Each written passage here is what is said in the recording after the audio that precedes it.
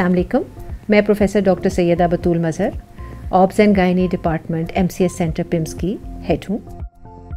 इस वीडियो के दो मकासद हैं। एक है कि सबसे पहले हम डिफ़ाइन करें कि क्वालिटी ऑफ़ केयर क्या है, यानी मैार को हम किस तरह डिटर्मिन करेंगे।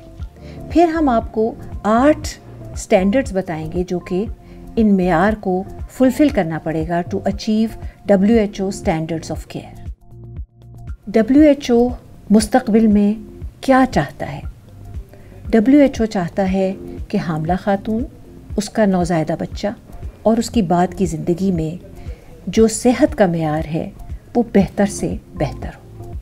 हामला खातून और उसके नौजायदा बच्चे की सेहत को बेहतर से बेहतर बनाने के लिए डब्ल्यू एच ओ ने एक फ्रेमवर्क तैयार किया है, जिससे कि उसकी क्वालिटी ऑफ़ केयर को डिटर्मिन किया जाए। क्वालिटी ऑफ़ केयर यानी सेहत के आला मैार को इस तरह बयान किया जाता है। सेहतमंद और बीमार अफराद को सेहत की सहूलियात इस हद तक फ़राहम की जाएँ कि बेहतरी के मतलूबा नतज सामने आएँ। इसके हसूल के लिए सेहत की सहूलियात महफूज मौसर बर वक्त, मसावी और अवामी होनी चाहिए।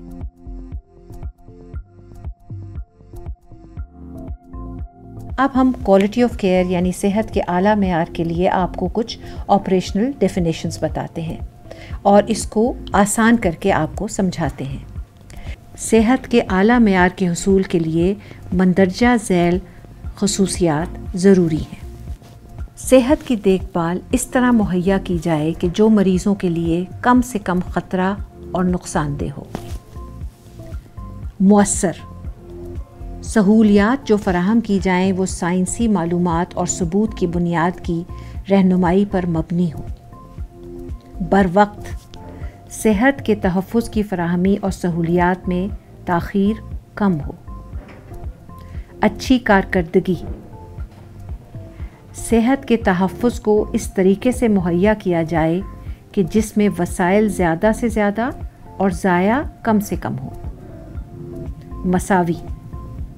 सेहत का तहफ़ का मैार ज़ाती खसूसियात जैसे कि सिनफ़ी, नस्ली, जोग्राफियाई और माशी और माशरती बुनियादों पर मबनी ना हो अवामी, सेहत की सहूलियात लोगों की तरजीहत और ख्वाहिशात और सकाफ़ती तौर तरीक़ों को मद्दनज़र रखते हुए मुहैया की जाएँ।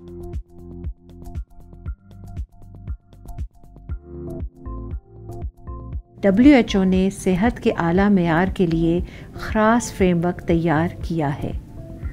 ये मैारात काम के ज़मरे बताए जाते हैं और काम की तशखीस करना, बेहतरी करना और मॉनिटर करना आसान बनाते हैं। अब हम माँ और नौ मौलूद बच्चे की देखभाल बेहतर बनाने के लिए आठ मैारात और उनकी चंद मिसालें पेश करेंगे। इन मिसालों में हर बयान शामिल नहीं है। हर बयान की मैारी इकदाम हैं। ये मैारी इकदाम जैसे इनपुट्स, आमाल और नतज तजवीज़ करते हैं, जिनसे तिब्बी मालिज देखभाल के मैार को तशखीस और मॉनिटर कर सकते हैं।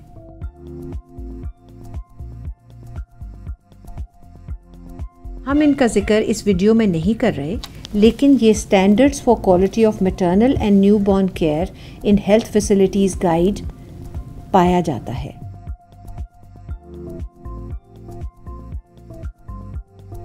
दाखिले के वक्त हर औरत का मामूल के मुताबिक मुआयना होना चाहिए और जचगी और पैदाइश के दौरान वक्ता फ़वक्ता मुनासिब ख्याल रखा जाना चाहिए। नौ मौलूद बच्चे की पैदाइश के फ़ौर बाद उसका मुआयना होना चाहिए। नंबर दो, सेहत की मालूम का निज़ाम इस बात की यकीन दहानी कराए कि ऐसा डेटा इस्तेमाल किया जाएगा जिससे हर औरत और नौ मौलूद बच्चे की जल्द और मुनासिब देखभाल की जाए। हर औरत और नौ मौलूद का मुकम्मल, दुरुस्त, मेयारी मेडिकल रिकॉर्ड होता है। लेबर के दौरान, बच्चे की पैदाइश और इब्तदाई बादस पैदाइश के अरसे के दौरान, जिसमें बर वक्त रेफरल्स हो सके। हर सेहत का मरकज़ का डाटा इकट्ठा करना तजिया करना, राय देना अपने हिसाब से होता है, जो इसके तसलसल का हिस्सा होता है, ताकि वक्त पैदाइश उसकी जाँच पड़ताल आसानी से हो सके और बेहतर कारकर्दगी सामने आए।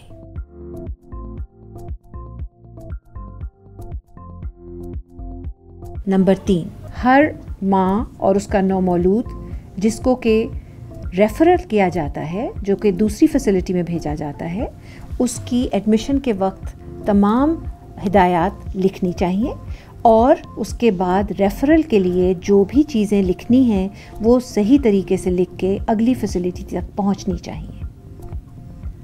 हर खातून जो एक हेल्थ फैसिलिटी से दूसरी फैसिलिटी में रेफ़र होती है, उसकी इन्फॉर्मेशन पहली फैसिलिटी से दूसरी फैसिलिटी तक पहुंचनी चाहिए और दूसरी फैसिलिटी को वापस पहली फैसिलिटी पे अपना फीडबैक देना चाहिए।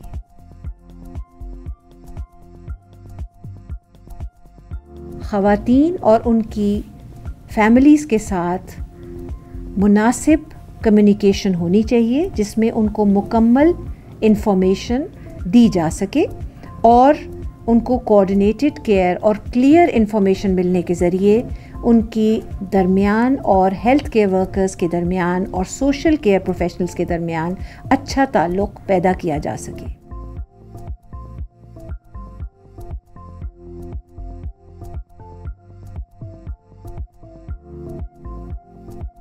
नंबर पाँच औरतें और नौमौलूद का बाइज़्ज़त तरीके से ख्याल रखा जाना चाहिए और उनके वक़ार को भी बरकरार रखना चाहिए। तमाम ख़वातीन और नौमौलूद की राजदारी बवक्त लेबर और बच्चे के पैदाइश पर और उनकी राजदारी की हिफाजत का एहतराम ज़रूरी है। कोई औरत और उसके नौ मौलूद से बदतमीज़ी नहीं की जाती जैसा कि जिस्मानी, जिनसी या ज़बानी कलामी, इम्तियाज़ी, नज़रअंदाज, कैद, जबरी वसूली या खिदमत गुजारी से इनकार। तमाम औरतों को अपनी मर्ज़ी की सहूलियात की मालूम दी जाती हैं और मुदाखलत की वजूहत या नतज के बारे में वजाहत कर दी जाती है ताकि जो भी ऑपरेशन या प्रोसीजर किया जाए, खातून उसको कंसेंट दे।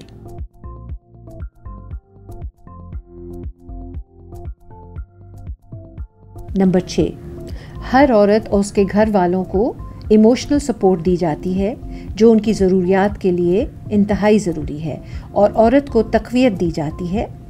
हर औरत को इख्तियार होता है कि लेबर और बच्चे के पैदाइश के वक्त अपने माविन साथी को मुंतखब करे।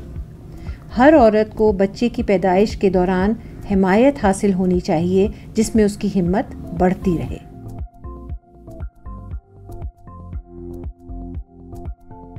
नंबर सात, हर औरत और बच्चे को हर वक्त एक पैदाइश के माहिर मददगार की मौजूदगी और उस तक रसाई और हमायती की सहूलत होती है, जो मामूल की देखभाल और किसी पेचीदगी को संभाल सके।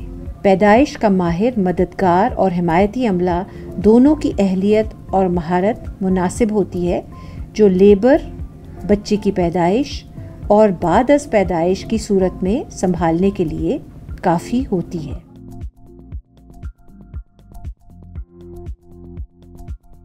नंबर आठ, सेहत के मराकज़ में मुनासिब माहौल, ज़रूर का पानी, सफ़ाई, बिजली के अलावा दवाइयाँ और मामूली औज़ार जो माँ और बच्चे को संभालने और किसी पेचीदगी से निमटने के लिए ज़रूरी हैं, मौजूद होते हैं। पानी, तवानाई, मसलन बिजली, सफ़ाई, हाथों की सफ़ाई और गंदगी को ज़ाया करने का बंदोबस्त हमेशा अवेलेबल होना चाहिए।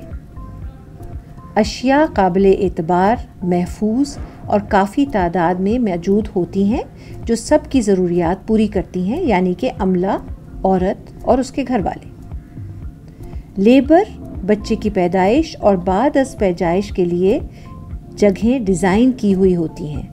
और उन्हें मुनज़म और महफूज रखा गया है ताकि हर औरत और नौमौलूद का उनकी ज़रूरत के मुताबिक इनफरादी तौर पर ख्याल रखा जा सके ताकि देखभाल की सहूलत मुसलसल रहे।